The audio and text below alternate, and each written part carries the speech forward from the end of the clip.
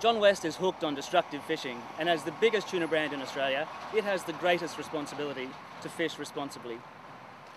The practices John West uses wipe out marine life, including sharks, rays, juvenile tuna, and even turtles. If we want to have tuna into the future, and if we want to enjoy marine resources, companies like John West need to act now to end destructive practices.